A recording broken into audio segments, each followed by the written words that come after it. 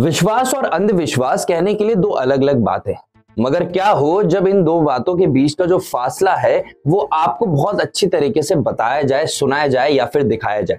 कुछ ऐसे ही किया था इस मूवी ने। जी हाँ मैं बात कर रहा हूँ ओ के बारे में। बहुत ही आउट ऑफ़ द बॉक्स ये मूवी आई थी। इसका जो स्टोरी लाइन थी, वो बहुत आउट ऑफ़ द बॉक्स थी। जो भगवान के नाम से चल रहे धंधे थे या फिर लोगों ने जो बिजनेसेस खोल के रखे हुए थे और आम जनता को लूटने का वहाँ पे काम कर रहे थे, इस मूवी ने उस चलते हुए धंधे के ऊपर सवाल उठाए और जवाब मांगा अपनी ऑडियंस से और ऑडियंस ने वो जवाब दिया भी उस हिसाब से।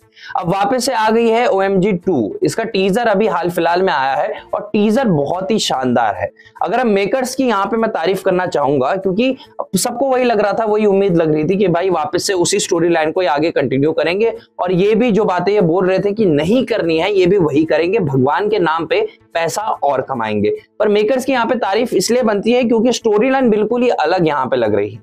जहाँ पे पिछली मूवी में कांजी भाई थे जो बिल्कुल ही नास्तिक थे उन, उनको आस्तिक बनाया वहाँ पे भगवान जी ने। वहीं पे अभी कांति शर्मा है जो आस्तिक तो है वहाँ पे भगवान के बहुत बड़े भक्त हैं मगर एक बात यहाँ पे बहुत ज़्यादा क्लियर है कि मैसेज एकदम क्लियर है कि भगवान पर विश्वास रखो भगवान वहीं पर है आपकी सहायता करेंगे ज़रूर।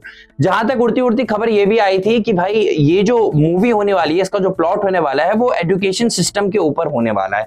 टीजर में इतना कुछ बताया नहीं गया, इतना कुछ रिवील नहीं किया गया कि किस बारे में होगा, किस बारे में नहीं होगा, मगर विजुअल्स के हिसाब से बहुत शानदार लग रहे हैं। दो विजुअल्स यहाँ पे पर्टिकुलरली मैं बोलना चाहूँगा, जिसमें मेकर्स ने बहुत ज़्यादा यहाँ पे कमाल कर दिया और ऑडियंस को भी वो बहुत ज़्यादा पसंद आ रहे हैं। एक वो विजुअल है जहाँ पे अक्षय कुमार जो है, अक्षय कुमार एक शावर ले रहे हैं, ऊपर आसमान में एक आधा चाँद है और बगल से ट्रेन जा रही है, जो कि मॉडर्नाइजेशन यहाँ पे दिखा रही है। वो विजुअल बहुत ही प्यारा है और बहुत ही अच्छी तरह से उसे एग्जीक्यूट भी किया गया है। दूसरी बात यह है कि अक्षय कुमार जब बाहर निकलते हैं गेट से और उनके पीछे पीछे एक बैल आते हैं, बुल आते हैं, नंदी भगवान जी वहाँ पे आते हैं। तो बहुत अच्छी यहाँ पे एग्जीक्यूशन है, क्योंकि ये माना जाता है, जहाँ जहाँ पे शिव भगवान जाएँगे, वहाँ वहाँ पे नंदी भगवान तो आएँगे तो वो बहुत अच्छा एक रिप्रेजेंटेशन यहाँ पे दिखाया गया है। कास्ट के बारे में बात कर लेता हूँ तो एज यूजुअल अक्षय कुमार जो है, वो भगवान शिव यहाँ पे दिखेंगे हमें। अरविंद गोयल जो है भाई, बहुत टाइम बाद यहाँ पे देखने को मिलेंगे, जो कि भगवान राम का यहाँ पे कैरेक्टर निभाने वाले हैं। पंकज त्रिपाठी है कॉमन मैन कांति शर्मा, ठीक है, वो वहाँ पे से दिखने वाले हैं। और उनके साथ साथ में Yami Gautam as a lawyer हमें दिखने वाला है। तो भाई लॉयर की बात आई है तो केस वापस से होगा। अब केस किस बारे में होगा, क्यों होगा, ये तो मूवी देखने के बाद ही पता चलेगा। एक बीच में टीजर में एक सॉन्ग भी आता है सॉन्ग का थोड़ा सा पीस आता है, मगर जितना भी आप वो सॉन्ग सुनेंगे, आपके रोंगटे ज़रूर खड़े होने वाले बहुत ही ज़्यादा इंटरेस्टिंग ये मूवी यहाँ पे लगने वाली है। कास्ट के बारे में मैंने आपको बता दिया मूवी के प्लॉट के बारे में जो उड़ती उड़ती खबरें आ रही थी, वो मैंने बता दिया।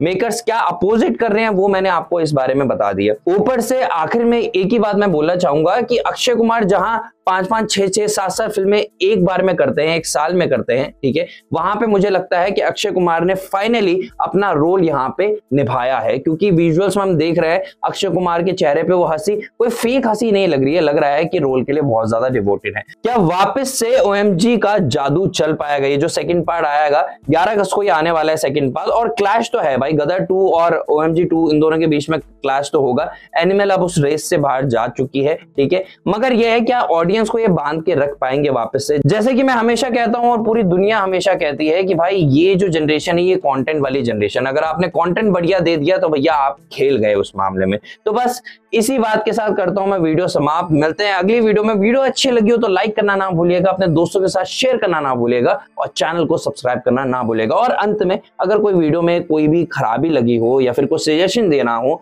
या फिर बताना हो कुछ भी तो नीचे कमेंट बॉक्स में आप लिख सकते हैं। तो बस, मिलता हूँ अगली वीडियो में।